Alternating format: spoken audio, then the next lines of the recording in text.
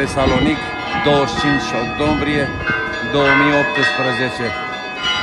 Biserica Sfântul Dimitrie, izvorătorul de mir. Iată se încheie procesiunea cu moaștele Sfântului prin orașul Tesalonic. Câteva cuvinte despre viața Sfântului. El era din Tesalonic, s-a născut aici în această cetate. Părinții lui erau de neam bogat și foarte credincioși. Tatăl său era creștin. Avea în palatul său două icoane, una a Mântuitorului și una la Maicii Domnului, în fața cărora ardea câte o candelă și mereu mergea să se ruga, se închina.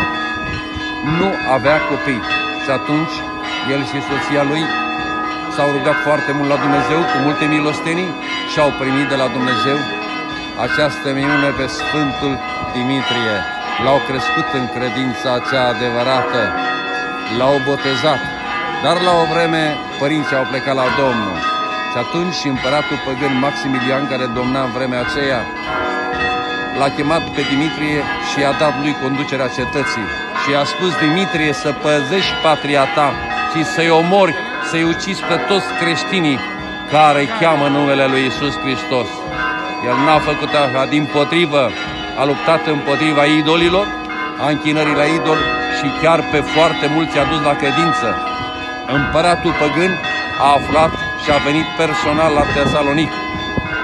A venit aici, dar Sfântul Dimitrie dăduse toată averea să fie împărțită săracilor prin sluga sa credincioasă, lupul. Dragii mei, era acolo un creștin Nestor, iar împăratul Maximilian, care iubea luptele acestea în arenă, l-a pus pe Nestor să lupte cu Lie, un păgân, un uriaș, care ucisese foarte mulți. Nestor a cerut binecuvântarea Sfântului Dimitrie și a spus, Lie, du-te că-l vei birui. Nestor, du-te că-l vei birui pe Lie. Și într-adevăr l-a biruit. Împăratul Maximilian a fost foarte supărat că l-a pierdut pe Lie. Și atunci a trimis să-i se taie capul cu cuțitul Sfântului Nestor. Apoi, pentru că, pentru că în Sulițe a murit omorât Lie, păgânul acesta a poruncit ca și Sfântul Dimitrie să fie ucis cu sulițele și au venit și l-au omorât. Chiar Sfântul a ridicat una dreaptă și a fost împuns cu o suliță, așa cum a fost împuns și Iisus Hristos cu suliță atunci pe Golgota. Iubiții mei, pe locul acela unde a fost înmormântat Sfântul, s-a zidit o biserică de un anume Leontie, care s-a vindecat într-o minune cu rugăciune Sfântului Dimitrie. Moaștele sunt izvorătoare de mir, așa cum spune și numele și într-adevăr eu am băgat o iconiță în partea de jos a raclei și a ieșit plină de mir și apoi multe altele pe care le-am dus credincioșilor din biserică și le-am dărit spre bucurie, spre întărire în credință. Și acum, iată, în față, în prima mașină, icoană, o icoană în care sunt Sfinții Împărați Constantin și Elena și o bucățină, bucățică din lemnul Sfintei Cruci pe care a fost răzit Iisus Hristos.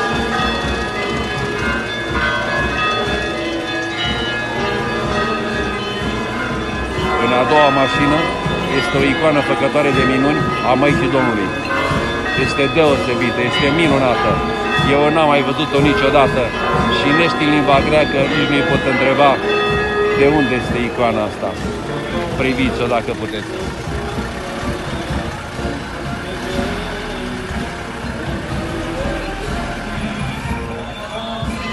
Și acum vine o altă mașină cu icoana Sfântului Dimitrie. Sfinte Dimitrie, izvorătorile de mir, ca unul care e îndrăzneală către Dumnezeu, roagă-te și pentru noi păcătoși, acum, în ceasul morții și în ceasul judecății noastre. Amin. Roagă-te la Dumnezeu pentru poporul român binecredincios de pretutindeni și pentru cei care s-au rătăcit la secte să vină la cunoștința adevărului Sfinte Dimitrie. Sfinte, nu ne lăsa. Iată acum și mașina în care sunt, este pusă racla cu moaștele Sfântului. Sfinte Dimitrie, roagă de la Dumnezeu și pentru noi acum în ceasul morții și în ceasul judecății noastre. Amin. Sfinte Dimitrie, să nu ne lași. Sfinte, Tu și toți Sfinții din cer și Măicuța prea sfântă, prea curată, pururea Fecioara Maria. Doamne, tot țintorile Părinte, Fiule Vechi și Duhule Sfinte, călăuzește-le pașii în Marea Ghiț cea îngolgurată. Și uitați pe înalt preasfințiile lor, mitropoliții de, de Tesalonic și din toată Grecia. Iată-i, au mitrele în cap și cârzele în mână. Iar aici, în mijloc, cred că este mitropolitul Tesalonicului. Așa cred, nu-l cunosc.